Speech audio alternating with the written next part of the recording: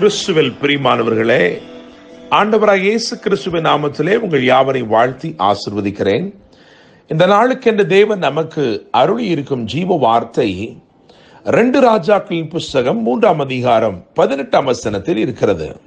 இது கர்த்தரின் பார்வைக்கு அற்ப காரியம்.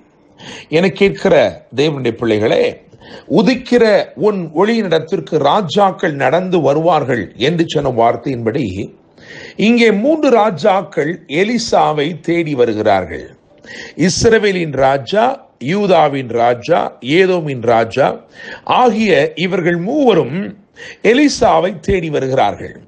அவர்கள் வனாந்திரத்திலே ஏழு நாட்களாய் சுற்றி திரிந்த போது அங்கே அவர்களுக்கு தண்ணீர் இல்லாமற் போனது என்று வேதம் சொல்கிறது மூன்றாம் அதிகாரம் பதினோராம் வசனத்திலே அவர்கள் தண்ணீர் இல்லாமல் தவித்த போது தாங்கள் நிச்சயமாய் தோற்று போவோம் என்பதை அறிந்து அங்கே யோசபாத் கேட்கிறான் கர்த்தரிடத்திலே விசாரிக்கும்படி கர்த்தருடைய தீர்க்கத்தரிசி ஒருவரும் இங்கே இல்லையா? என்று கேட்டபோது எலியாவின் கைகளுக்கு தண்ணீர் வார்த்த சாப்பாத்தின் குமாரன் எலிசா இங்கே இருக்கிறான் என்று சொல்லப்பட்டது.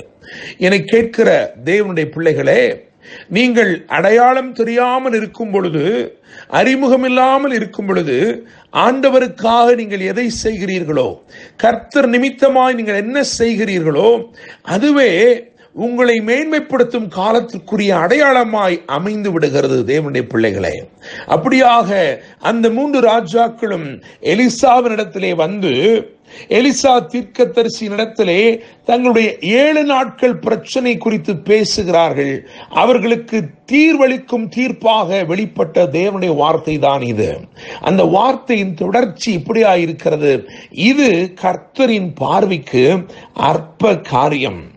என கேட்கிற தேவனுடைய பிள்ளைகளே நான் நம்புகிறேன் விசுவாசிக்கிறேன். இந்த நாள் தேவன் இயற்கைக்கு அப்பாற்பட்ட விதத்திலே உங்கள் வாழ்க்கையிலே கிரியை செய்கிற தேவனாக வெளிப்பட போகிறார். இயற்கைக்கு அப்பாற்பட்ட அற்புதமான கிரியைகளை உங்கள் வாழ்க்கையிலே செய்ய போகிறார்.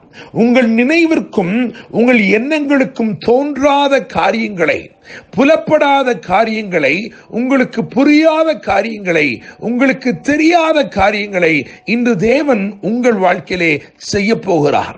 விவரித்து சொன்னாலும் விசுவாசிக்க முடியாத தேவனுடைய கிரியைகள் அவருடைய ஞானத்தின்படியே இந்த நாளில் உங்கள் வாழ்க்கையிலே வெளிப்பட போகிறது தேவனுடைய பிள்ளைகளே.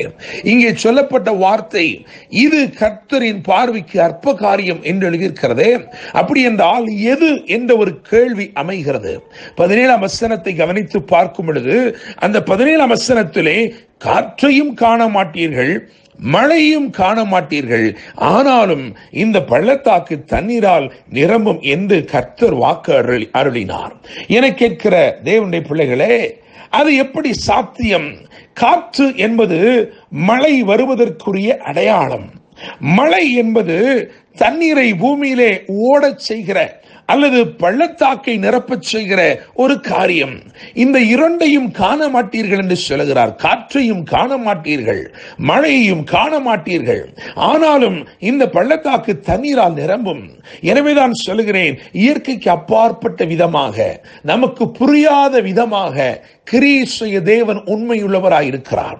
No sign and no rain but still a miracle happen நீங்கள் தேடிக்கொண்டிருக்கிற அடையாளங்கள் நேரிடாமல் இருக்கலாம்.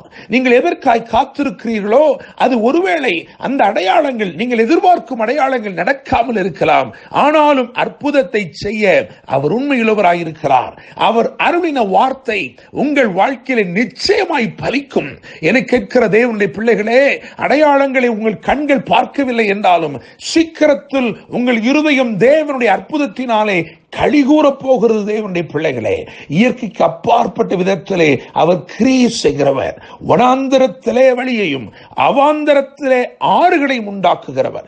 அவாந்தர வெளியில் எப்படி ஆறுகள் உண்டாக முடியும்? ஒரு ஆறு என்றால் அதற்கு ஒரு பிறப்பிடம் இருக்க வேண்டுமே என்றுதான் நாம் யோசிப்போம். ஆனால் தேவன் அவாந்தர வெளியிலே ஆறுகளை உண்டாக்கக்கூடியவராய் இருக்கிறார்.